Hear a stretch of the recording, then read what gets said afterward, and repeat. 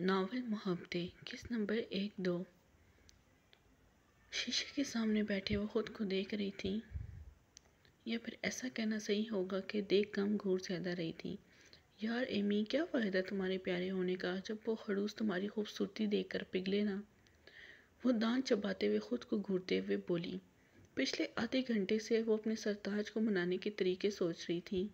जो कि हमेशा की तरह इसकी दस गुना लंबी ज़बान चलाने की वजह से नाराज़ हो गया था। और इस दफ़ा कुछ ज़्यादा ही हो गया था। शाम से भी जहरीला जहर है तुम्हारी ज़ुबान में। इसे फैज़ी के अल्फाज याद आए। क्या सच में मेरी ज़बान इतनी जहरीली है? वो शीशे में अपने मुँह से ज़बान निकाल कर देख रही थी। ये तो गुलाबी ही नज़र आ रही है मेरी तरह। हाँ बस आम ज़बानों से थोड़ी सी लंबी ही है ना। वो खुद को तसली देते हुए बता रही थी। हूँ शोहा कहीं का, मेरी ज़बान का जहर नज़र आ गया। ख़ुद जो फैक्ट्स बताने की आड़ में मुँह से ड्रैगन की तरह आग निकालता है, वो नहीं पता इसको। वो एक दफ़ा फिर अपने शोर की बुराइयों में मसरूफ़ हो चुकी थी। पर यार, अब इस शोखे ड्रैगन को मनाया कैसे जाए? दांतों से अपना नाखन चबाते फिर सोच रही थी। अचानक किसी ख्याल के तख्त इसकी आँखें चमक उठीं। वाह, क्या आइडिया आया है। शुक्र है, नावल पढ़ने का कुछ तो फ़ायदा हुआ। मेरे ख्याल में नावल पढ़ने का ये इकलौता ही फ़ायदा हुआ है कि शोर को मनाने का तरीका मिला है। वरना ज़िंदगी भर नावल पढ़ने के चक्कर में बेजती ही होती है। घर वालों से अलग और अपने इस रूठे हुए सरताज से अलग। वो पुराने गम याद करके गमगीन हो रही थी, जिसमें इसके प्यारे खावन को इसका नावल पढ़ना एक आँख नहीं पाता था। छोड़ यार मैं किन यादों में खो गई हूँ, वो ख़ुद को हाल में वापस लाई, जहाँ इसको अभी सर, अपने सरताज को मनाने का पूरा इंतज़ाम करना था। वो उठ कर ड्रेसिंग रूम में चली गई कपड़ों को खंगालते हुए वो अपनी मतलूबा चीज़ ढूंढ रही थी। यार, एक तो ये एंड वक्त पर जिस चीज़ की ज़रूरत हो वो मुझे मिलती क्यों नहीं? बड़बड़ाते हुए कोशिश जारी थी। ओ हाँ आखिरकार मिल ही गई। वो चेकते हुए बोली और पैकेट उठाकर रूम में वापस आई। पैकेट को खोल कर देखा तो उसमें रेड कलर की थी। रेड साड़ी इसमें जब ब्लैक शमरी स्टार थी, ये दोनों दोनों ही बहुत प्यारी हैं। वो साड़ियों को उलट पुलट कर देख रही थी। शुक्र तब मैं ये साड़ियाँ ख़रीद ली और आज ये काम आएँगी। पर अगर वो इस सब के बाद भी ना माना तो इसे एक नई फ़िक्र लाक हुई। एवी ना माना मैं इतनी सच सवर कर सामने आऊँगी। देखना गर्मी में जैसे आइसक्रीम पिघलती है, ये भी मुझे देखकर ऐसे ही पिघल जाएगा। कॉन्फिडेंस अरूज पे था। आज एमी का, हाय मैम, कितनी प्यारी लगूँगी ना? वो फैज़ी का रिएक्शन सोचकर ब्लश कर रही थी। नहीं नहीं, अभी नहीं ब्लश करना, वरना तब नहीं कर पाऊँगी। सारा ब्लश ख़त्म हो जाएगा। चलो, लग जाओ काम पर, एमी। पहले देखूँ तो सही, वो खड़ूस कर क्या रहा है बाहर तब से। वो सब सोचते हुए कमरे से बाहर निकली। सीढ़ियाँ उतर कर वो लॉन्च में आई, जहाँ इसके रूठे सरतार लॉन्च में सोफे पर बैठे, मोबाइल यूज़ करने में मसरूफ़ थे। वो फैज़ी को घूरते हुए किचन में चली गई ताकि पता चले वो काम से नीचे आई, इसे देखने नहीं आई। फैज़ी ने अपनी ठेरी बीवी को एक नज़र आते देखा और दोबारा मोबाइल में मसरूफ़ हो गया। देखो कैसे मुझे इग्नोर करके स्याह पे मोबाइल के साथ लगा है। कोई नहीं, रात को जब मेरे पास वो गुल अफशानी करते करते ज़ुबान दांतों तले दबा गई। एक तो मेरी ज़बान पता नहीं क्यों सही काम नहीं करती, इसकी ज़बान की वजह से ही फैज़ी इससे नाराज़ हुआ था। फैज़ी को नज़रों के सार में रखकर वो किचन में चली आई। किचन में खड़े होकर मुसलसल अपने शोर को घूर रही थी और बिला वजह बर्तन उठाकर इधर उधर रखने लगी। इसके शोर को खबर थी कि इसकी बीवी से आँखों से ही निगल लेने की कोशिश कर रही है। दिल तो कर रहा है उसे साड़ी पहन कर नहीं, कुछ और ही पहन कर दिखाऊँ। वो फैज़ी के मुसलसल इग्नोर करने पर अब चलने लगी थी। नहीं देखता तो ना देखे, मैं भी साड़ी पहनकर ऐसे ही नाक और मुँह चढ़ाकर इग्नोर करूँगी। और कहूँगी मेरी खूबसूरती, मेरी मर्ज़ी। वो गुस्से से बड़बड़ाती हुई चीज़ें पटकने लगी। लॉन्च में बैठे फैज़ी को सब कुछ समझ आ रहा था कि इसके इग्नोर करने का गुस्सा चीज़ों पर निकल रहा है, पर वो भी मज़ीद अपनी बिगड़ी हुई बीवी को अकल देना चाहता था। इसलिए सोफे पर पुरसकून अंदाज से लेट गया। वो फैज़ी को अपनी गुस्से से घूरते हुए किचन से बाहर आई। बंदर शोहा उल्टे सीधे नामों से मुँह में बड़बड़ाती हुई इसके सामने खड़ी हो गई। साथ मुँह भी टेढ़ा करके अपने अंदर की भड़ास निकालने की कोशिश जारी थी। कि अचानक फैज़ी ने इसे मुँह टेढ़ा करते देख लिया। इसके देखते ही वो जल्दी से वो छत पर देखने लग गई। अब वो इसे घूर रहा था।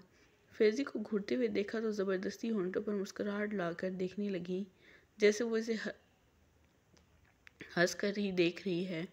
इसकी नज़रों ने कुछ गलत खुद देखा। मैडम वहाँ से मौका पाते ही भागकर दोबारा रूम में आ गई।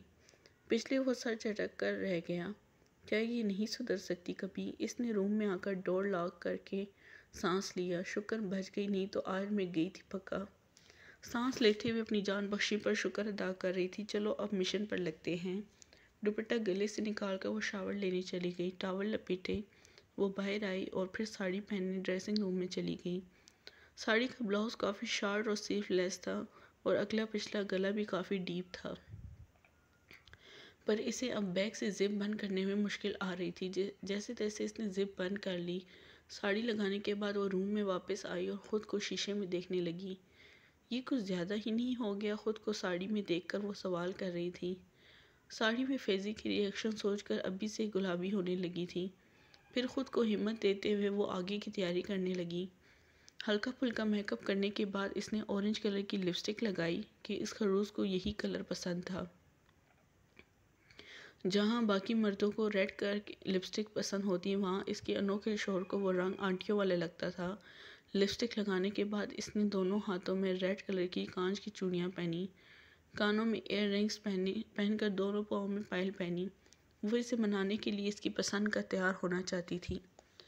होंठों पर शर्मीली सी मुस्कुराहट थी, वो अपनी मोहब्बत की कहानी को सोचते हुए खो गई। कि कैसे आज वो पहली दफ़ा ऐसे तैयार होकर फैज़ी को मनाएगी। अपनी तैयारी को फाइनल टच देने के बाद इसने रूम में कैंडल्स जलाई। इसे ख़ुद कैंडल्स की जल्दी रोशनी बहुत पसंद थी। इसलिए कैंडल्स आज इसकी तैयारी का सबसे अहम हिस्सा थी।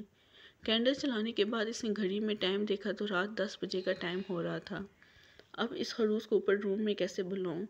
रूम में इधर उधर टहलते हुए सोच रही थी और चलते हुए इसके पैलों का शोर भी रूम में जारी था।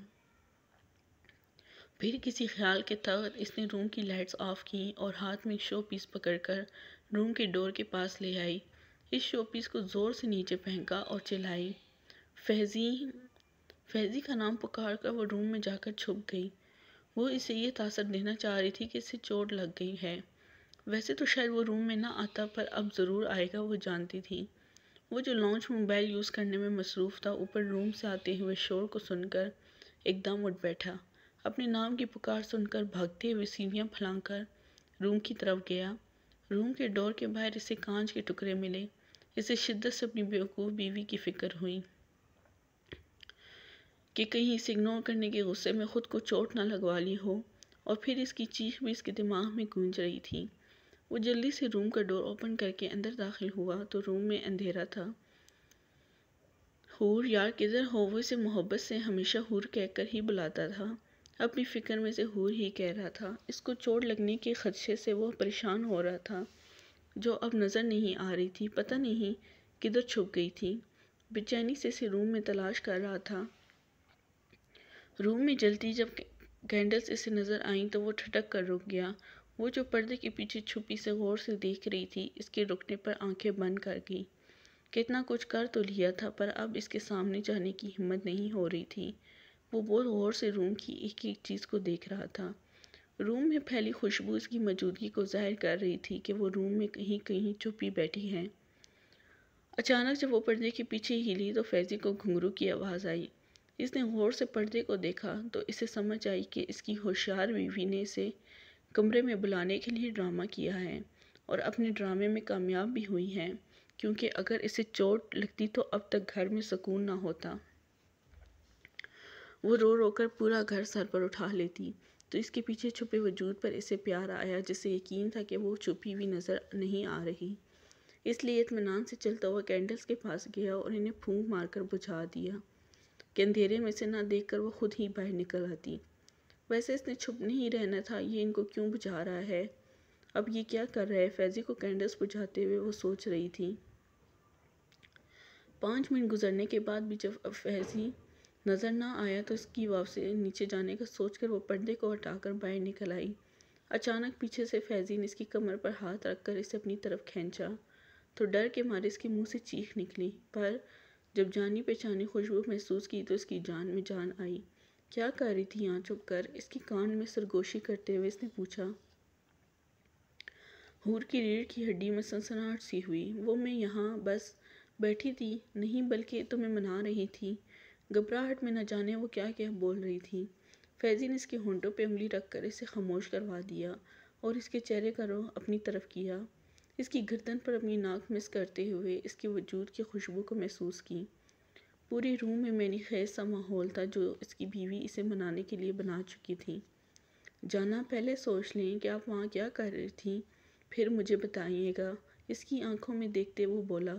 वो बिना आँख छुपके इसकी तरफ़ देख रही थी। फैज़ी ने इसे छोड़ा तो वो होश की दुनिया में वापस आई। फैज़ी दोबारा कैंडल्स की तरफ़ बढ़ा और इन्हें जलाया। वो जलती हुए मोमबत्तियों की रोशनी में इसका आतिशफशा सा रूप देखना चाहता था, जो वो अपनाए खड़ी थी। कैंडल्स जलाकर फैज़ी ने मुड़कर इसकी तरफ़ देखा तो देखता ही रह गया। ब्लैक साड़ी में सजी सवरी घबराई सी खड़ी थी। स्लीवलेस ब्लाउज, दोनों हाथों में ब्लैक कांच की चूड़ियाँ नाक में छोटी सी नोज़ पिन होंठों पर इसकी फेवरेट लिपस्टिक लगाए। इसे घायल करने के लिए तैयार थी। वो जानता था कि सामने खड़ी हसन की मूरत इसकी हर कमज़ोरी से वाकिफ़ है। इसलिए ऐसा आतिशफिशा स्वरूप अपनाए। इसके सामने खड़ी है कि वो कुछ कर ही ना पाए। इसकी बदतमीज़ी को बुलाकर इसे माफ़ कर दे। फैज़ी की खुद में उतरती नज़रों से खाइफ सी होने लगी थी। थोड़ी देर पहले वाली बहादुरी भी कहीं दूर जा सोई थी। वो चलता हुआ जाकर सोफ़े पर बैठ गया और सोफ़े से टेक लगाकर फुर्सत से इसे देखने लगा। इसे रूम में गर्मी का एहसास होने लगा था, इसलिए इसने अपनी शर्ट के ऊपरी बटन खोल दिए। वो इसकी नज़रों से और घबराने लगी। इसकी बटन खोलने की हरकत पर नज़रें चुरा गई। यहाँ आओ, फैज़ी ने इसे इशारे से अपने पास बुलाया। नहीं, मैं इधर ही ठीक हूँ, तुम बोलो। जो कहना है मैं सुन रही हूँ। इसके पास जाने का सोच कर इसका सांस रुकने लगा था। वो इसके डर को अच्छे से समझ रहा था और चाहता भी था कि वो डरे। आप खुद आ रही हैं या मैं या यहाँ या मैं अपनी खिदमत पेश करूँ? वो वार्निंग देने के अंदाज में बोला। एक तो पता नहीं इस खड़ूस को आप आप कहने का दौरा क्यों पड़ जाता है। अच्छा भला कॉन्फिडेंस ख़त्म हो जाता है, वो सिर्फ़ सोच ही सकी। डरते डरते वो इसके पास आई, यहाँ बैठो। इसने अपनी थाई की तरफ़ इशारा किया तो वो शर्म से लाल हो गई। मैं सोफ़े पर बैठ जाती हूँ ना, इसने बमुश्किल कहा, जो जो कहा है ना वो करो। माथे पर बल डाले वो बोला नेक्स्ट एपिसोड के लिए चैनल को प्लीज़ लाजमी सब्सक्राइब करें, शुक्रिया।